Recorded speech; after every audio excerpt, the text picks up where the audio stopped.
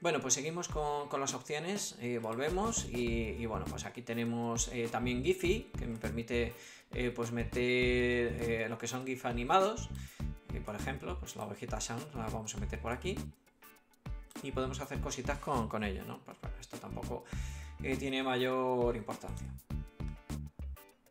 Vale, y luego, interesante, podemos cargar imágenes desde Google Drive o desde Dropbox o desde un enlace, por ejemplo el kit de marca no está disponible, a no ser que sea de pago.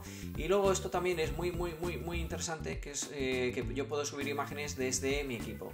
Por ejemplo, yo he subido estas que tenía ya aquí preparadas, que dibujé en su día, con fondo transparente. Y bueno, pues aquí tenemos una bacteria, aquí tenemos pues eh, un tardígrado aquí volando. Y yo puedo hacer clic aquí y subir la imagen o directamente eh, pues ya tenerlo abierto y bueno pues por ejemplo pincha arrastro hasta, hasta lo que es el eh, lo que es el cuadro suelto y ya me carga pues otra imagen que yo, que yo tenga. Hago clic y la, y la pongo. Bueno pues con, todo esto pues yo puedo trabajar con imágenes. Eh, luego eh, para trabajar con imágenes hay una parte que es fondo donde yo puedo cambiar lo que es el fondo. Puedo subir una imagen ¿vale?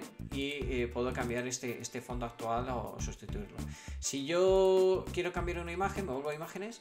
Si yo quiero cambiar una imagen, entonces pincha aquí y fijaros que me permite girar a la izquierda, girar a la derecha, eh, voltear horizontalmente, bueno, verticalmente, perdón. Eh, puedo voltear las imágenes, es decir, yo puedo trabajar con estas imágenes así. También puedo hacer zoom, lo que es las imágenes, fijaros que ya se sale de lo que es la, imagen en sí.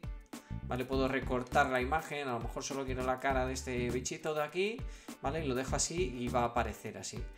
Eh, aumentar, reducir, es decir, zoom, in, zoom out y ajustar. Por ejemplo, si yo le doy, ajustar, pues eh, se va a ajustar el cuadro al tardigrado. Que lo ajusto de esta manera con estos eh, manejadores que son iguales iguales que los de Word pues digo, no, solo quiero que salga la carita de este señor de aquí. Le doy a OK. Y fijaros que la imagen pues ya solo aparece la cara, porque es que le quería poner aquí.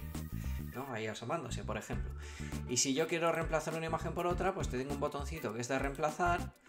Y entonces, pues esto me permite cambiar el fondo y, demás. Eh, con lo cual, pues bueno.